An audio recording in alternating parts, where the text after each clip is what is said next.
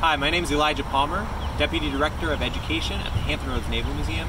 Today I'm at All Saints Catholic Cemetery in Portsmouth, Virginia, at the graveside of Joseph Mitchell, Medal of Honor recipient from the Boxer Rebellion. In May 1900, 24 year old Joseph Mitchell was serving as a gunner's mate first class aboard USS Newark, a protected cruiser operating on the Asiatic Station. In late May, the cruiser landed a force of 50 Marines and five sailors in China to reinforce the foreign legations in Peking, now called Beijing. They were in danger as an anti foreign movement, nicknamed the Boxers, was gaining power in the country. The Boxers were largely peasants from rural areas and recruited followers with demonstrations of invincibility to bullets and an anti Christian message. From June 20th to August 14th, 1900, Chinese forces besieged foreign diplomats, missionaries, Chinese Christians, and military personnel near the heart of Peking. A large international force made up of troops from the United States, Japan, and half a dozen European countries would eventually break the siege on August 14th. Joseph Mitchell was part of the defending force near the Imperial Palace during the siege. As a gunner's mate, Mitchell was put in charge of the 1895 Colt machine gun brought off USS Newark.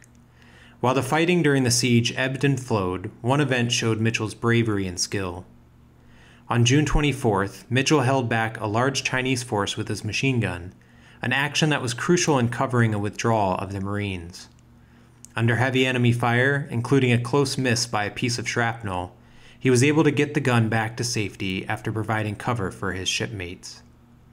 Additionally, during fighting on July 12th, Mitchell climbed onto one of the Chinese barriers opposing the American legation and captured a large black Chinese flag, struggling with a Chinese soldier before wresting it free, all while under fire. In an after action report, a Marine officer explicitly stated that the flag capture was worthy of a separate report in itself. Evidently, his account was persuasive, as Mitchell received the Medal of Honor for his meritorious conduct on July 12th. Perhaps even more famous were Mitchell's actions in regard to what became known as the International Gun. In the early days of unrest, some Russian soldiers who came to Peking had brought ammunition for large cannon, but not the actual guns they belonged to. So the defenders' heaviest artillery was a small one pound gun. In early July, Mitchell channeled his ingenuity as a gunner's mate to cobble together a working cannon from parts contributed by various nationalities. He also took apart the Russian shells to make workable ammunition for the gun. With an old British cannon barrel they found, an Italian carriage, Russian rounds, and an American gunner, the cannon quickly earned the nickname the International Gun. The defenders used this cannon to great effect during the siege, with Mitchell in command of the gun.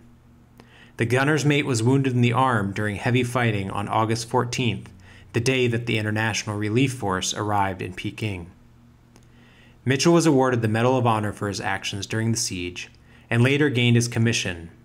He retired from the Navy as a lieutenant and died in 1925 at the age of 48.